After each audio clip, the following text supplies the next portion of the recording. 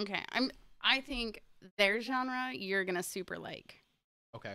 You said that it's a little bit more nu metal, new or more um more metalcore. More like rap metal. I Rap think. metal. Okay, Yeah. so like nu metal stuff. Yeah. Um,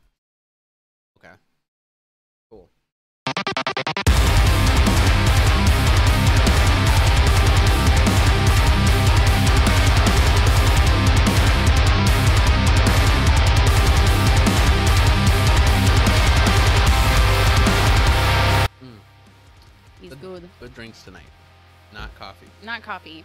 Hey guys, welcome back to another episode of Arsenic and Espresso, a podcast where we sometimes drink coffee, but tonight it is wine. And beer. But we always talk about metal music. We are going to react to a band called Fever 333. Okay. Um, they are a rap, rock, rap metal, hardcore punk band that Okay. formed in Inglewood, California in 2017. All right. July of 2017. So it is almost their third birthday. Yay. Happy birthday. Happy birthday, guys. Um, I found this band just a few weeks ago. Um, somebody somebody I follow had posted them like in their Instagram stories. Okay. Um, but POD follows them on Instagram. Oh, awesome. Yeah, and so when I saw that, I was like, all right, That's cool. I'm sold. I don't even know what they sound like, but I'm sold. Let's get into this then. What um what song are we listening to? So we are going to be reacting to their song Supremacy. I don't feel like there needs to be a lot of explanation as to why. Um, Okay. I can feel that. I mean, Is it a is it a newer song? I mean, Yes, they've only been yes. around for a few years. so they've but- only been around three years, but this song was released, yes, Oh, the beginning of the month, June 8th. Yes. Okay. between quarantine and between a crazy, powerful civil rights movement. Days have blurred into one long day, and I don't actually know when anything has happened anymore. it's true. So I, I feel like we've been up feels, for 20 days straight. It feels like a hundred years ago that I listened to this band. Okay. Fair enough. Their monthly listeners on Spotify is eight hundred sixteen thousand, Okay. and they So- have one hundred forty three thousand followers on Instagram. Okay. So they're pretty big. Yeah, so they have Yeah. a pretty good following. Anyways, let's, get into it. Get to this. This is Fever three three three. Their new single Supremacy. Born into a world where we're trying to be free, but we're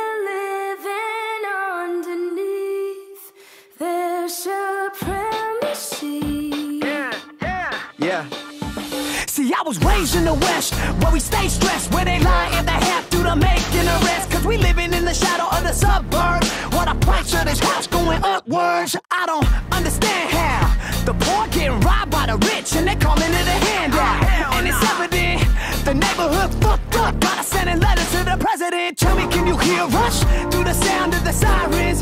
And you wonder why the streets getting violent. Another mother shed tears at the cemetery, a firstborn child.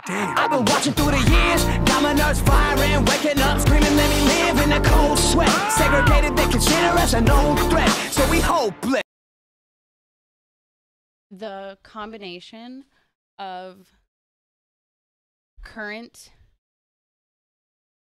videos, Mhm. like current literal current events, Right. paralleled with video clips from the, the civil rights movement. Right. So good. Also, though, um, they're it gives me the same vibes as like Rage, Rage Against the Machine, right? Mhm. Because you can just vibe to this song right now. His voice, um, so far the music behind it and Yeah. everything is just like you know I could I could probably study to this music, you know, and just have it vibing. Um, but then like then you look at the the lyrics and you hear what they're saying and you're like, oh. Oh, that's why they're raging against the machine. You Yeah, know, like exact- yeah, yeah, yeah. So, so I'm getting the same sort of vibes. Hey,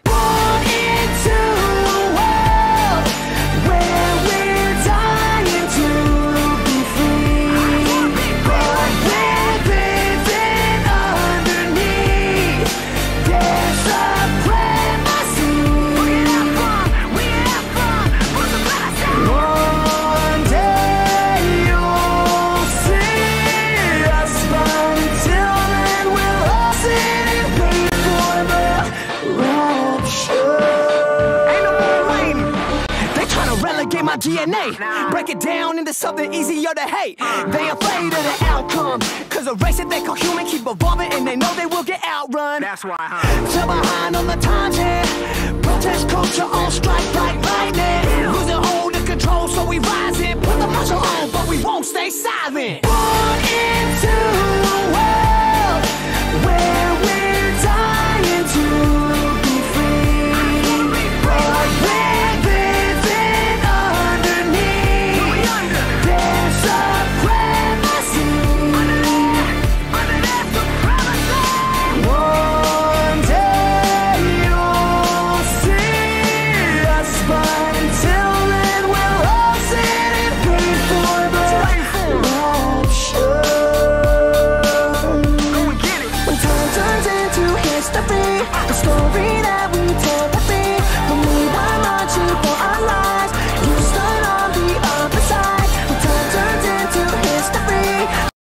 back. The battery died. Yes. Um, so now we're gonna finish the last like 30 seconds of this, and then go over a quick lyric breakdown. Um, so far, I mean, I do we need to do a lyric breakdown since the lyrics were posted on the video? I, think we can talk about we it. still can. quick, Okay. Yeah. All right. Cool. Cool. Cool. Cool. Cool. All right. Um, let's finish this Okay. and then go to bed because I'm sleepy. Yay.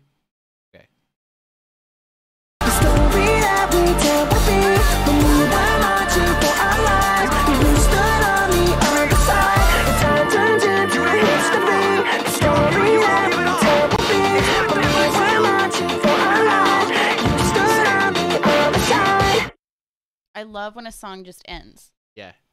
I No- love that. No fade out or anything. no just- fade out, just an abru- Yeah. an abrupt end because like you're vibing, Oh. you're feeling it, and then it just stops, and then you're still sitting there Yeah. doing this. Um, No, I, I I like that. Um, Mm. I like that a lot. I think that for me, very much so. Rage Against the Machine mhm. energy. Mhm. Um, like I said before, it's because of th- that it is content that like you listen to and you're like, oh yeah, like so they mad. hell yeah, you know. Yeah, Um, but uh, but yeah, you can just vibe to it. You can just I liked just put it I the yeah the instruments, the beat, his voice, everything was like the vibe was really really good. Um, when our camera died, I mentioned that his vocals remind me of Chester Bennington from Linkin Mm, Park. May yeah. he rest in peace. Oh, Um, but his the way he goes from like this like scream to almost clean Yeah. vocals back to like a really um like top of his throat scream Sure. and like you know like his veins are bulging out around his eyes and neck yeah. because he's like forcing so much energy out of his face in that Right. moment very chester Right. bennington um well, and to be clear, like Chester is up here. Like Yeah. nobody's touching Chester. No, he's we he's love goat. Chester. Um, um, but the style, the, Yeah, the the style, sound is very his- familiar. yeah. yeah. his vocals were very reminiscent of that for me. Um, back to the music video itself, I the the super powerful imagery of having images from the f- the first civil rights movement and then images from the current protests and riots super super powerful um i mean i'm curious to know like did they write this song literally in the like like 13 days Right. after Floyd's death did they write this song, put out this video like 12 or 13 days after Yeah. he was killed? Like that is incredible. Um obviously life sparks art and what is happening in our lives causes us to create whatever we can in that moment. Yeah. And so um th- yeah, the fact that they put this out um the lead singer his name is I I liked this song a lot. I'm excited to Yeah. hear more from them. Um, and hopefully we can get a couple more reactions of them in. Um, because I want to see what their other style is, similar to the to the other video that we just put out. I'm curious if this Mhm. is, um, for lack of better words, put out for the cause. Um, and so it's not exactly their same style, um, but similar. Right? or if this is like exactly their style like if is Yeah. everything this um politically fueled is everything this And I felt of like this was statement a fairly mellow song for um for especially rock, their you know, yeah their genre that hardcore punk or uh yeah Yeah, so the the lead vocalist is Jason Butler. Um, Stephen Harrison is lead guitar, and then Eric with an A Okay. is uh, drums. It was a really powerful song. Yeah. I think their sound is really powerful. Putting aside the content of the video Yeah. and the song, the sound is really powerful. Um, I mean, it's only three guys, and it has a really yeah. um, well-rounded sound. Yeah. I feel I I enjoyed it. i I'm, liked it a lot, and I'm yeah. excited to hear more. Um, I want to go over those lyrics again. Um, oh yeah, yeah, yeah, yeah, yeah, yeah, yeah. Really yeah. quick. I'll do that. because I think that those are powerful. Um, and and while we were while the camera was off, you were talking about um.